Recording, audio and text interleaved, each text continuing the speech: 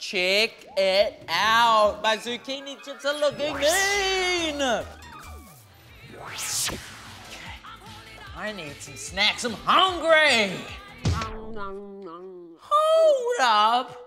What's going on over here, Leanna? You said that I wasn't allowed to eat snacks because I would ruin my dinner. But what are you doing? I'm eating snacks. Exactly. Yeah, I said you couldn't eat snacks because I wanted to eat the snacks and there's not enough snacks for the two of us. Are you sure about Make that? Your own! Let- What? Make my own. Those zucchini chips look pretty good. You know what? I will make my own. Let's get started. What you'll need half a cup of vegetable oil, half a cup of grated Parmesan cheese, two zucchinis thinly sliced, half a cup of all purpose flour, and two large eggs beaten.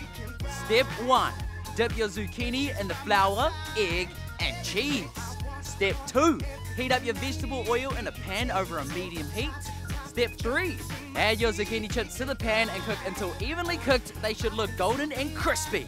And for your last step, transfer your zucchini chips to a plate lined with a paper towel. Check it out. My zucchini chips are looking mean. Smell that? Oh, yeah.